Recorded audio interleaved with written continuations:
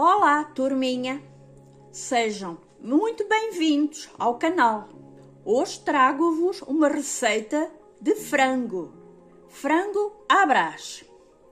Uma receita muito boa. Vão ver que vão gostar.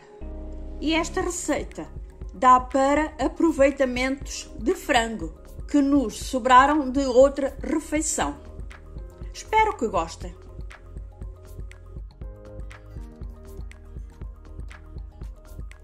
Os ingredientes que vamos precisar para esta receita são 400 gramas de frango, 200 gramas de batata palha, 100 mililitros de azeite, 5 ovos, 2 folhas de louro, 2 dentes de alho, uma cebola, uma cenoura, salsa, alho francês, a parte branca, sal, pimenta e azeitonas para a decoração do prato.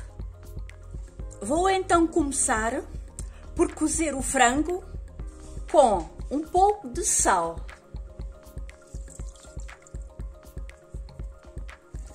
Assim que a água começar a ferver, vamos contar mais ou menos uns 10 minutos para cozer o frango. Para esta receita convém não deixar o frango muito cozido. Mais à frente depois explico porquê. Então, o frango já cozeu 10 minutos, 10, 15 minutos. Vamos então apagar o lume e tirar o frango para fora para arrefecer.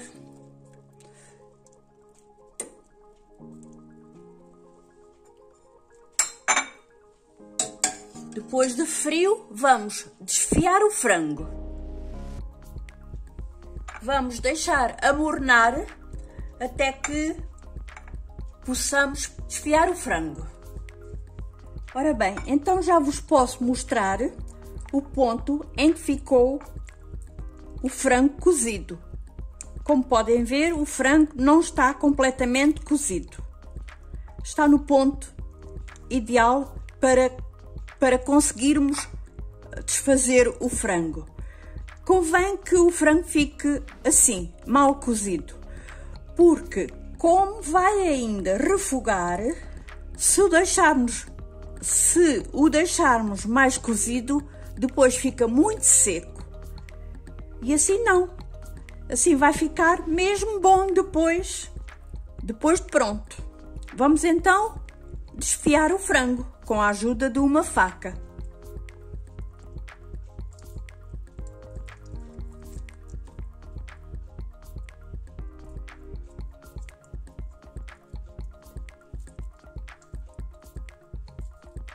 Prontinho. O frango já está todo desfiado. Tirei as peles, mas se quiserem deixar ficar alguma pele, também podem deixar ficar. Eu também deixei ficar alguma, mas pouca. A maior é que eu tirei. Está pronto para fazermos o, o refogado. Já tenho aqui o tacho com o azeite. Vamos, vou então pôr uh, a cebola, o louro e o alho.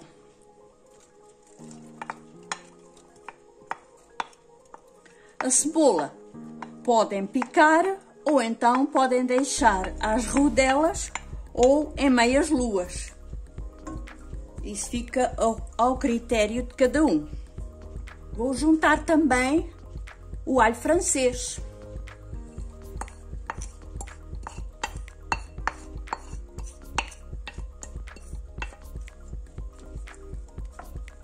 Vou então agora deixar refogar um pouco.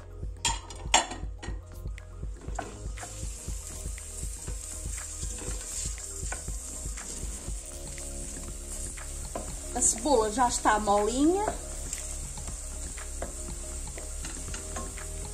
Vou então adicionar uh, a cenoura ralada. Vou deixar refogar apenas um minuto. Então, a cebola, a cebola e a cenoura também já encontram-se molinhos. Não é preciso deixar refogar muito. Vamos adicionar o frango. O frango ainda tem que ir cozinhar mais um pouco.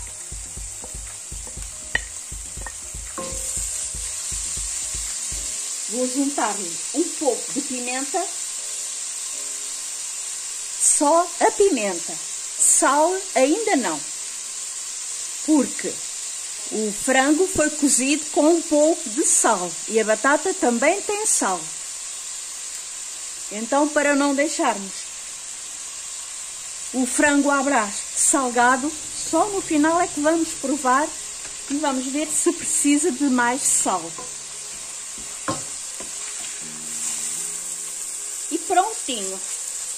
Ao fim de mais ou menos dois minutos, vamos baixar o lume e vamos juntar a batata palha. 200 gramas de batata palha. Vamos envolver. Vamos misturar o frango com a batata palha. E vamos tapar o tacho para amolecer mais um pouquinho a batata. Enquanto a batata fica aqui no tacho a amolecer um pouquinho, tapado,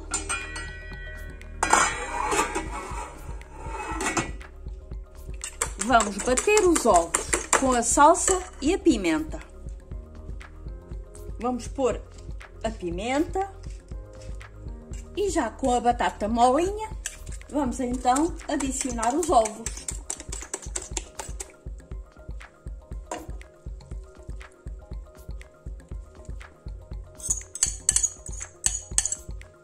Vamos então enlumbrando agora.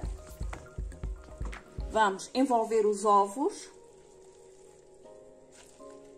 Nesta fase convém ser enlumbrando, porque se for em lume forte, o ovo agarra ao fundo do tacho e nós não queremos isso. Queremos que o ovo ajude a amolecer mais a batata. Vamos então cozinhar este ovo até ao ponto que nós gostarmos mais. Eu gosto que o ovo fique bem cozido, mas há pessoas que não, há pessoas que gostam do ovo, gostam do, do frango à brás com o ovo mais molhadinho. Mas eu não, eu gosto do ovo bem cozidinho. Vou deixar cozer então um pouquinho, sentar aqui a mexer. Prontinho. Temos então o frango à brás prontinho. Vou então empratar. Vamos então à decoração do prato. Pôr um pouquinho mais, mais de salsa e algumas azeitonas.